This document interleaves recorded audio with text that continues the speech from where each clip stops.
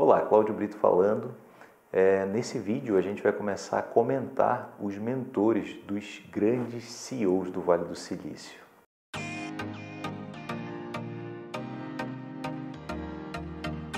Bom, para quem não sabe, no Vale do Silício o que vale é realmente você estar preparado para os desafios de uma grande empresa, uma empresa que pode conquistar o mundo, né? estar tá presente em vários países em todo o mundo.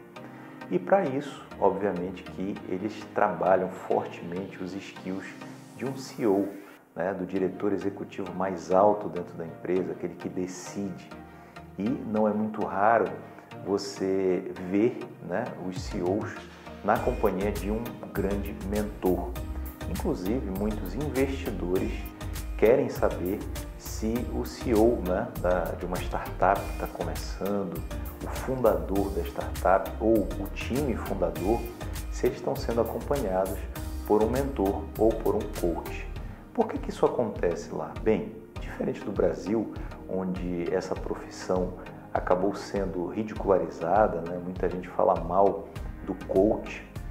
É, lá nos Estados Unidos, essa profissão é super bem vista e muito valorizada.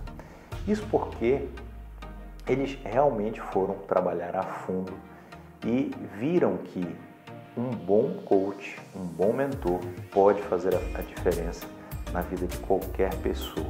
Então, obviamente, se eu vou investir o meu dinheiro, eu quero que esse dinheiro tenha um grande retorno. O que acontece lá, e eu tive pessoalmente conversando com muitas pessoas, tanto do lado do investidor quanto do lado do empreendedor, e sei que lá realmente eles valorizam isso. Agora, quais são os, as grandes referências, né, os grandes exemplos de CEOs de empresa que têm mentores?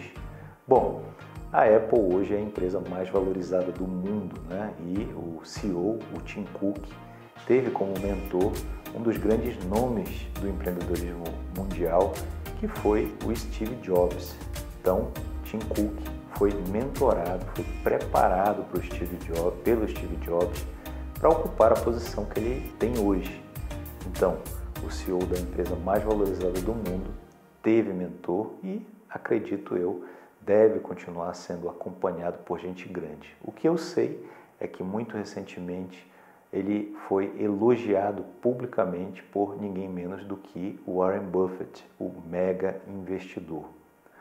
Outro grande CEO é o Bill Gates. Né? O Bill Gates esteve aí é, por muito tempo chefiando a Microsoft, a toda poderosa Microsoft, é o grande fundador da empresa, juntamente com Paul Allen e ele teve o, a mentoria, e muitas vezes até hoje né, continua sendo visto na companhia do Warren Buffett. Bill Gates ele teve aí uma trajetória muito interessante, cresceu fortemente, não só nos Estados Unidos, mas no mundo todo, e mesmo após sair da empresa, sair da chefia de uma das maiores empresas do mundo, ele continuou tendo a sua fortuna aí muito bem avaliada e se manteve né, constantemente durante muitos anos como um dos homens mais ricos do mundo. O terceiro da lista é o Jeff Bezos. O Bezos teve aí uma carreira muito difícil com a Amazon. Né? Para quem não sabe, a Amazon nos primeiros 10 anos não teve lucro. Isso porque tudo que ela ganhava, ela reinvestia no negócio. E o Bezos teve aí realmente uma capacidade muito grande de se segurar, né? de se manter no negócio, é, inclusive convencendo os investidores a continuarem investindo no negócio que não estava dando lucro. Agora, a verdade é que a Amazon dá lucro e muito lucro, e o Bezos teve como mentor o David Shaw, que foi seu chefe no passado, antes dele montar a Amazon. Perceba que os grandes nomes, né, os grandes empresários, sempre buscam um grande mentor. Outro exemplo que eu posso dar é o exemplo do Mark Benioff. Mark Benioff da Salesforce, que é uma empresa de CRM voltado para vendas. Salesforce teve um crescimento gigantesco e ele trabalha diretamente com o Tony Robbins, que é o grande mentor do Mark Benioff.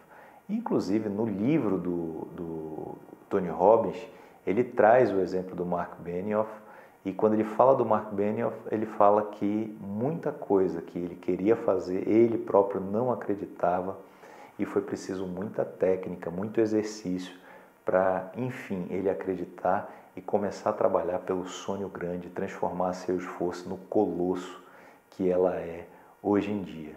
Não por acaso, a seu esforço tem uma grande torre, né? um prédio gigantesco de é, design, de arquitetura ultramoderna no centro de São Francisco, que é uma das cidades mais importantes do Vale do Silício.